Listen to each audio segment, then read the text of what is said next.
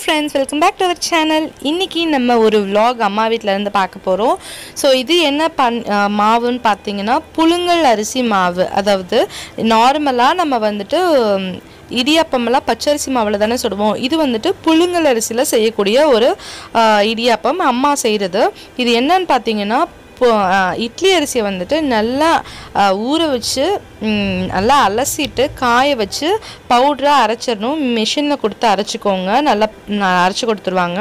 இடியாப்பத்துக்குன்னு சொன்னால் நல்லா அரைச்சி கொடுப்பாங்க.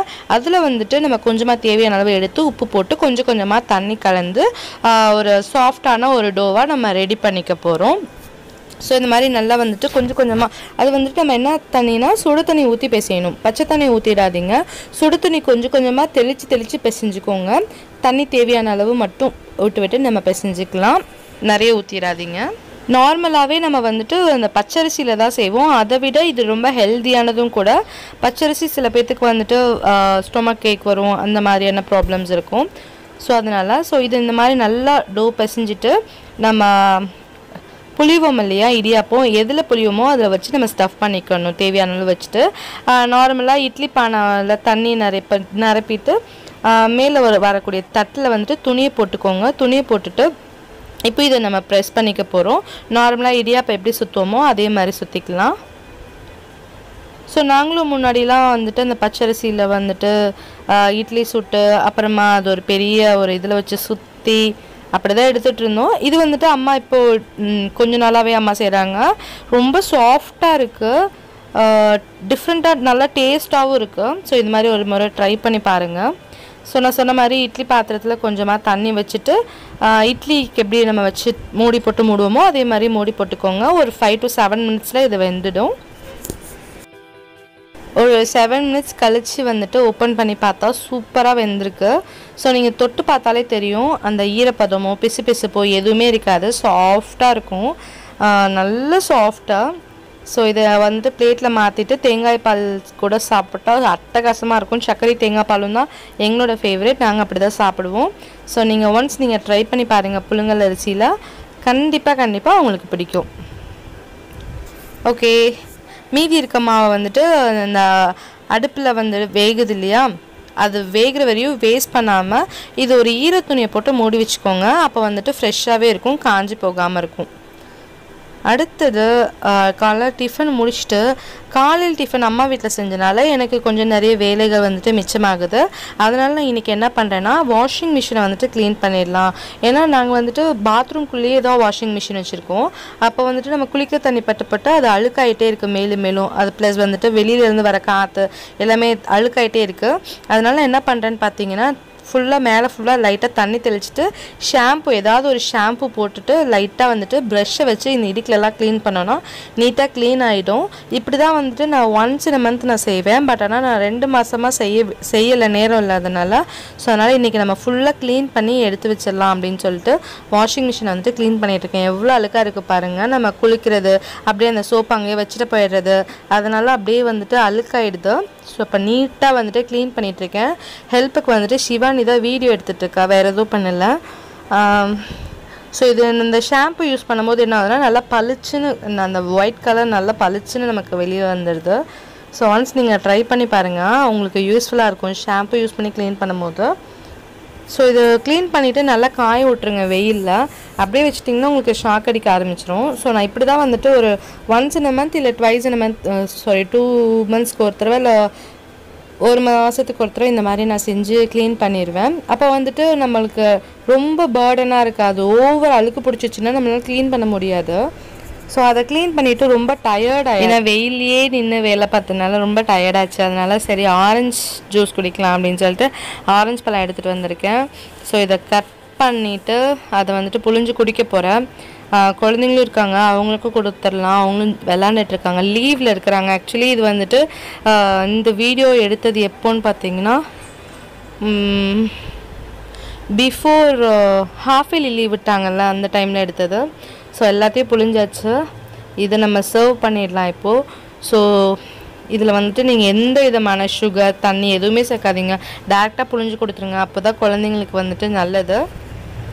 ஸோ இன்றைக்கி வந்துட்டு டே இப்படி தான் போச்சு மார்னிங்கில் அதுக்கப்புறம் வந்துட்டு ஆஃப்டர்நூன் வந்து லஞ்சுக்கு வந்துட்டு நான் எதுவுமே செய்யலை.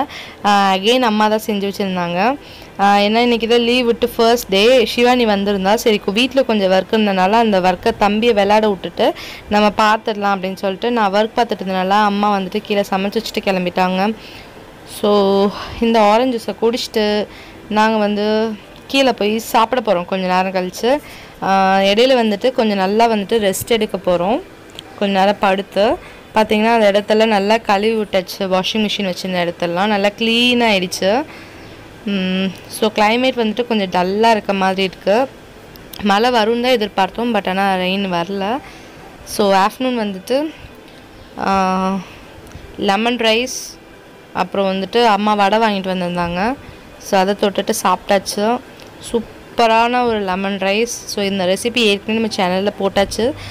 இதுக்கு சைட் டிஷ்ஷும் சேர்த்து போட்டிருக்கோம். ஸோ செக் பண்ணி பாருங்கள் கீழே டிஸ்கிரிப்ஷனில் வேணால் லிங்க் வேணால் கொடுக்குறேன். செக் பண்ணி.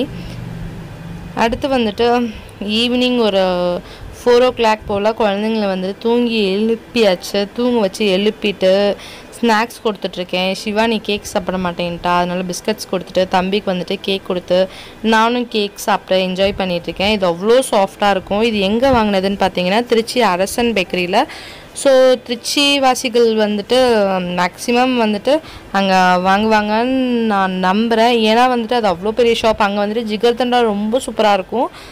ப்ளஸ் வந்துட்டு எல்லா ஸ்வீட்ஸுமே ரொம்ப சூப்பராக இருக்கும்.